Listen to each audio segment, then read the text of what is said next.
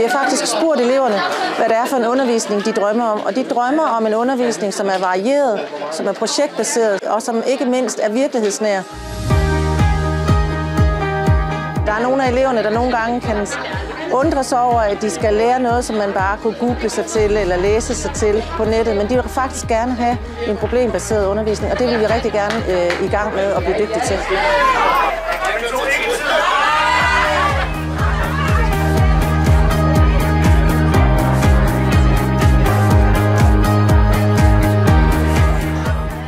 Vi er her i dag sammen med alle lærerne, som er i gang med at lære om PBL. Hvordan kan de tilrettelægge sammen en PBL-undervisning?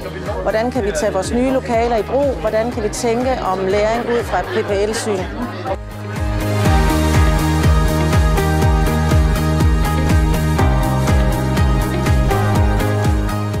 Tankerne med, at vi nu går i gang med et samarbejde med Klimacirkus, det er, at vi har brug for hjælp til at blive klogere på PBL.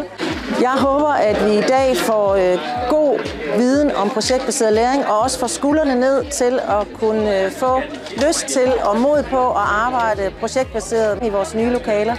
Så dagen i dag er et kick-off, som gerne skulle skabe motivation til det videre arbejde.